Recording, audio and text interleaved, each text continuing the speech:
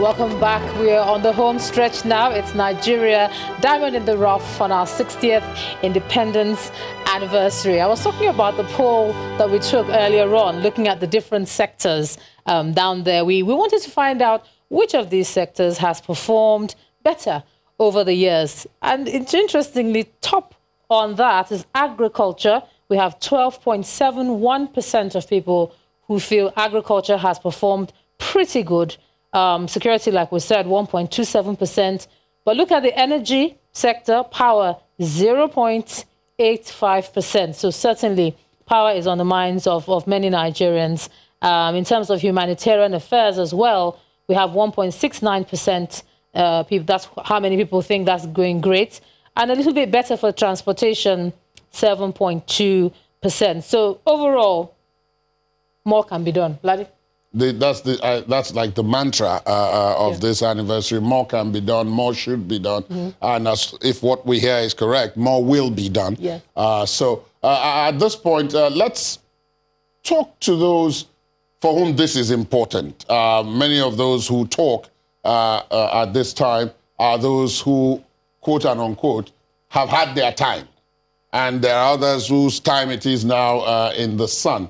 Uh, so we decided to call this segment Progress, the people who are going to lead the country from here onwards. The progressive creatives. Indeed. Yeah. Uh, so we're being joined first uh, here in the studios uh, by a familiar face. Uh, he's, I think, COVID. Uh, COVID-19 has made him grow a beard, so he's not quite, he's not quite as recognizable as he would Some otherwise call it a lo lockdown beard, yes? I've been yes. Indeed. So uh, Mr. Kunle Afolayan, of course, is a film producer. He's a director. He's also an actor. Thank you so much uh, for being here Thank on this day. And happy anniversary. Thank you. And happy birthday Thank yesterday, you. yes? Yes, Thank indeed, you. yesterday. Yeah. Thank you very Uh, much. now, uh, joining us from Nairobi, Kenya is Debisi Araba, uh, who is uh, of the Africa um, Green Revolution Forum. Uh, thank you for your time. Welcome uh, to the program. Thank you very much. Uh, good evening, everyone. It's a pleasure to be here.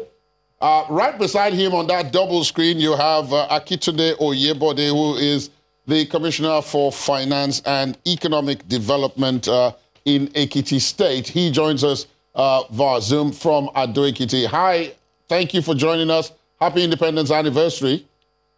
Wish you the same. Uh, hi, everyone, and happy birthday, Narias Kumi. Thank you very much. All right, we also have Chioma Agwuegbo, who is the founder TechHer in our Abuja studios. Uh, Chioma, hi. Uh, welcome to the program. Thank you so much for having me. Now, this panel, um,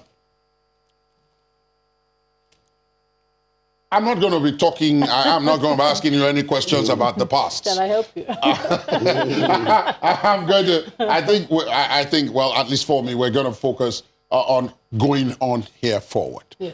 Uh, let me start with you, Kunle. Yeah. The most difficult thing that people talk about all the time is that people, younger people are full of ideas. Uh, they believe everything can be done.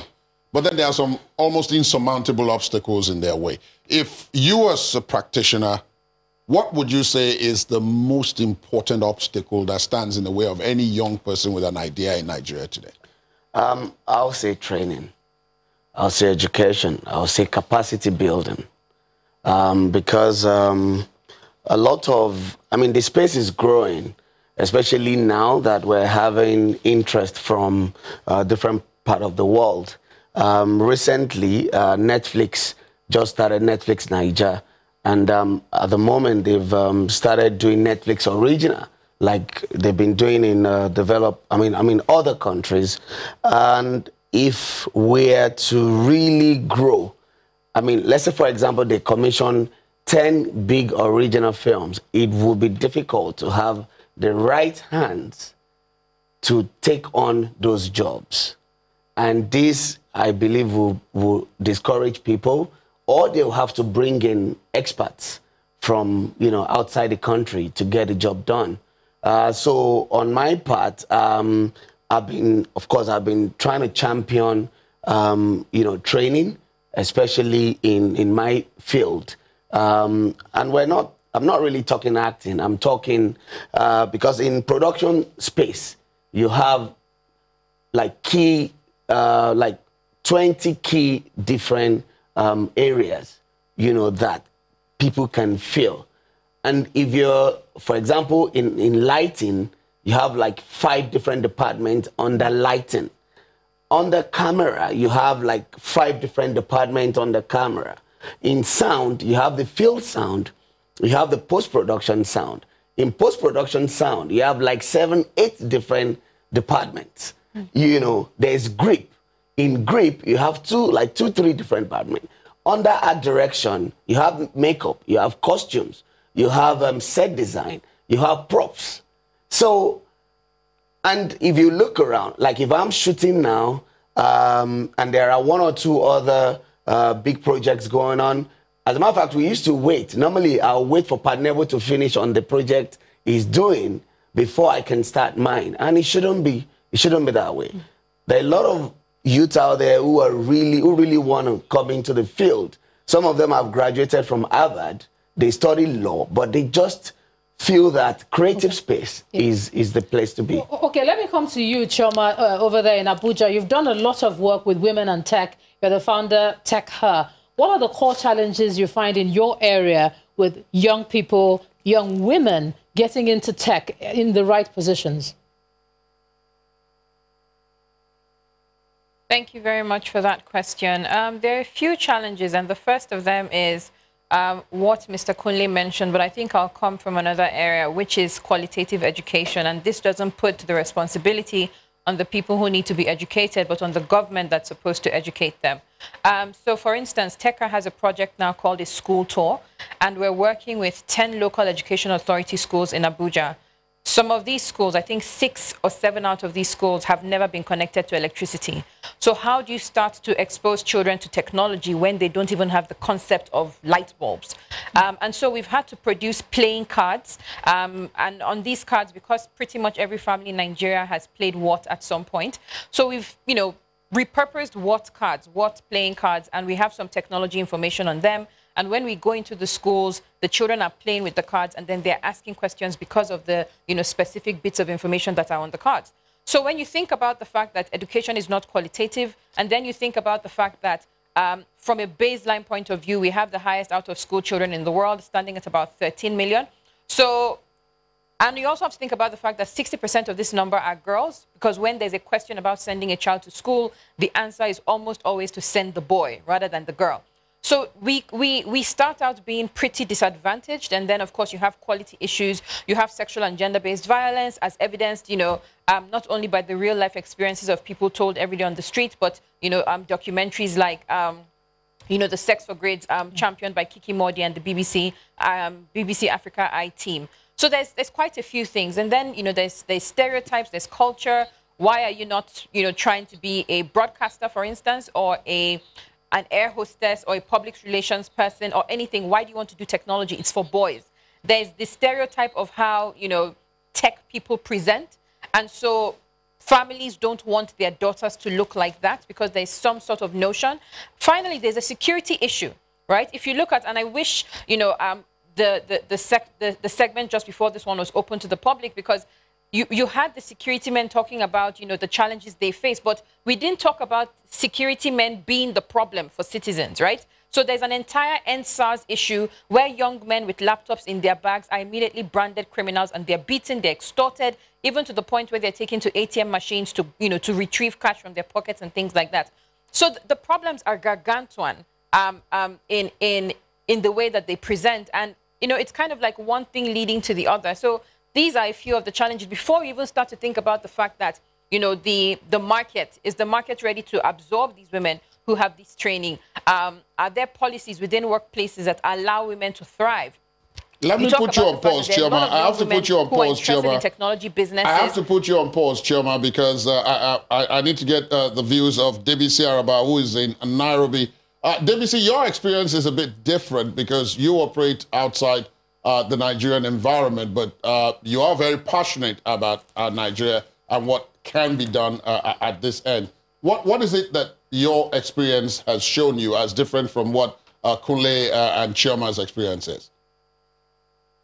thank you. Thank you very much, Ladi. to, to reiterate, happy Independence Day, Nigeria and Nigerians. It's 60 years. We have growing pains. Um, people might assume, you know, a 60-year-old country is an old country, but relatively speaking, a 60-year-old country is very young uh, compared with other uh, countries around the world. Now, um, uh, what what what Kunle and, and Chioma have said, I completely, you know, resonate with me. Um, you know, but when we look at challenges, we also want to look at opportunities. Um, I also wanted to touch a little bit on what was mentioned uh, in an earlier segment by Yewande Sadiku and uh, Bismarck Rewane. Uh, specifically talked about this enabling environment uh, for entrepreneurs to thrive. Um, I think this is something that we need to be very single-minded about. You know, as an economy, as a country, as a people, we need to be serious and focused on where we want to be and how we see ourselves. Um, I most recently I, I started telling my friends that you know if you were a betting person, would you bet on yourself? If you were a betting person, would you bet on Nigeria? And I think we need to bet on Nigeria, and we need to show this uh, through our investments. Now, I lead uh, the AGRF, which is a platform of partners uh, all focused on agriculture transformation in Africa. Nigeria, of course, is one of our key core partners. We can't talk about uh, the future of agriculture uh, in the world, really, uh, without talking about Nigeria. Nigeria has the potential, and we've been saying that for decades. Um, as some people famously say, you know, you don't need potential. You really need to see that conversion. Just as Yewande mentioned, you know, you need to see the conver- uh, conversion of interest into action. Um, and we're starting to see the green shoots, you know. Um, just giving you a, a couple of examples. Uh, uh, a young guy, uh, Rotimi Olawale of JR Farms, uh, very enterprising entrepreneur who has uh, investments in Nigeria, Rwanda, and Zambia, uh, agri agribusiness investment. So Nigeria is taking that know-how uh, across the continent. We also, of course, in, in Kaduna, we have Tomato Jos um, with, with Mira Mehta leading that. earlier this year, she closed a Series A funding uh, to the tune of $4.2 million, I believe, um, uh, to transform uh, the tomato producing and processing sector. Uh, of course, we also then have uh, in agribusiness, um, we have Affiong Williams uh, with ReelFruit, who started with processing um, fruits, mangoes, um, but she's also diversified now. And I'm, I'm you know, I, I, I, follow the journey, the entrepreneurship journey of these businesses, and I, I and I'm, I'm encouraged. You know, I, I feel I feel like the the journey of Nigeria has just begun, but we really need to create that enabling environment. Indeed, and so indeed I think the next do. phase indeed of, we do. Of innovation, Let me go to Akintunde uh, Oyebode in uh, uh, Ekiti, in Ekiti, uh, where um, you, the difference, of course, for you, Akintunde, is that you are now uh, in the political field, uh, which is where many of the key decisions get taken that affect all these other sectors where Kunle, uh, Debisi, and others are affected. what's your experience? Um, I mean, I like to say I'm in governance. Uh, first things first. Um, but but I think I mean I think I experienced that similar. Um, I think for me it's really about human capitalization. You know, how do we capitalize talent? Um, and I think that's what resonates across across the panel. Um, ultimately, I feel that Nigeria is in a place where you know we need to leverage a lot more technology. Um, and this now speaks to, so everyone's talking about agriculture, etc., which is great. But I think that we now need to see how do we deepen uh, technology and its use across Nigerian businesses are exporting this technology. You know, Paystack is in Kenya, is in South Africa. I believe Flutterwave as well is in a number of countries. And right on cue, my internet connection is unstable. Um, and, I'm, and I'm speaking from a state capital. So it tells you if I in Ado Ekiti, you know, will have this kind of challenges connecting to the internet, then you imagine what happens to the kid in my hometown in Konde. You know, and how can kids in Kaura Namoda, how can kids in all these parts of the country connect to what is increasingly becoming a very competitive um, global economy? So for me, the real question is, how do we ensure our talent can compete globally with the rest of the world? Thank you. Indeed, uh, but for time, but for time, time, time. Um, I'm having to thank uh, you, gentlemen uh, and lady, uh, lady and gentlemen, for joining us. Um, uh, Chioma Agwuegbo uh, in Abuja, Akintunde Oyebode in Ekiti, Debisi Araba in Nairobi, and of course, Kunle Afolayan here in our studios. Uh, we, we, we say thank you. And once again, happy independence anniversary. Ijoma,